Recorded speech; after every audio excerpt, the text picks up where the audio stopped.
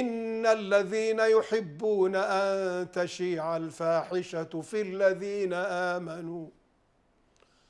لهم عذاب أليم في الدنيا والآخرة.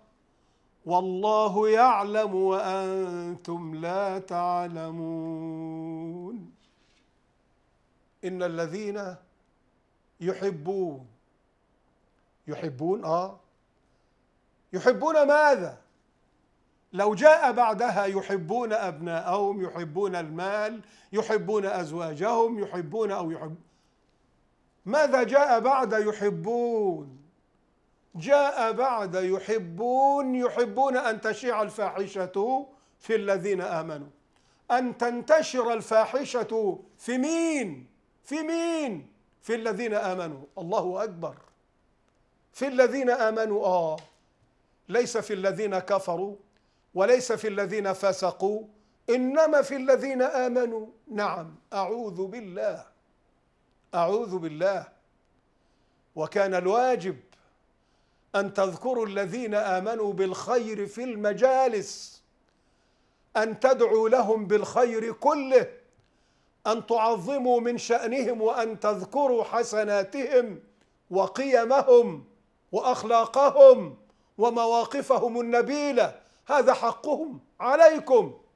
لكن أن تشيع تحبون إلى درجة الحب وكأنكم تمارسون شيئا ممتعا أو هواية ممتعة تحبونها أي كلام هذا؟ يحبون أن تشيع. تشيع. تشيع إيه؟ الفاحشة في الذين آمنوا.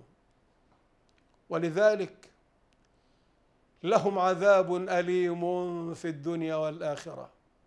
في الدنيا والآخرة. والله في الدنيا وفي الآخرة.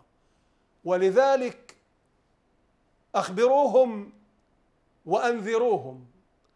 أنذروا كل من خاض في أعراض الطيبين الصالحين. أنذروا كل الذين رموا مسلما أو مسلمة بالإفك والبهتان المبين. أنذروهم جميعاً.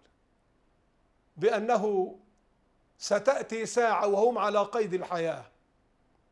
ستأتي ساعة وهم على قيد الحياة. سيفضحهم رب العزة على ملأ الأشهاد. جزاء ما فعلوا بالمؤمنين الصالحين الطيبين. نزعوا عنهم ثوب البراءة.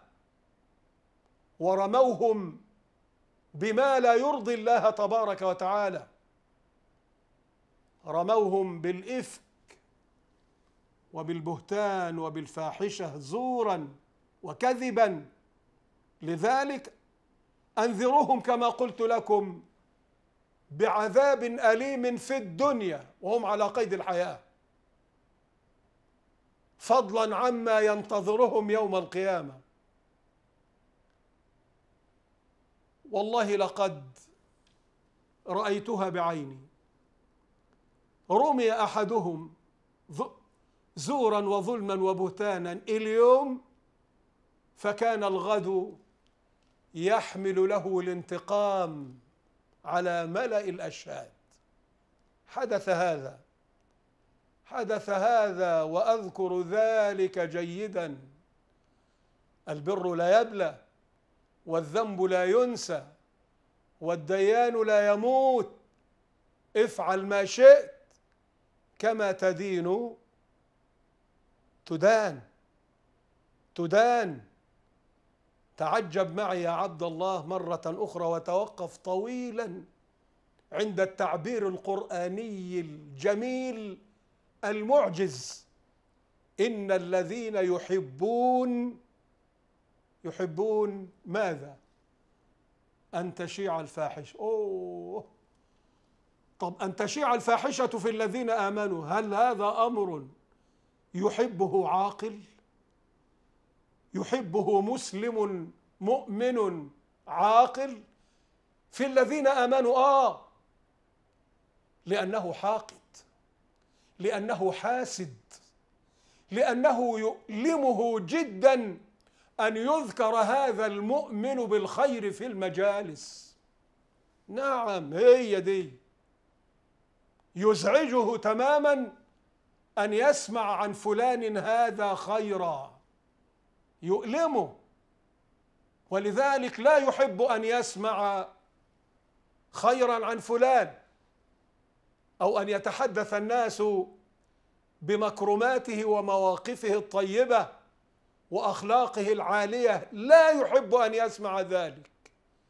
ولذلك نجده أو نجده جاهزا للرمي والقذف للرمي والقذف ويهمه أن تشيع الفاحشة بكل أسف في الذين آمنوا في الذين آمنوا وكان يجب عليه أن يحفظ للذين آمنوا حقوقهم. إذا ذكروا أمامه يقولها للجميع بلسان عربي مبين أقسم بالله العظيم لا أعلم عن أخي فلان إلا خيرا.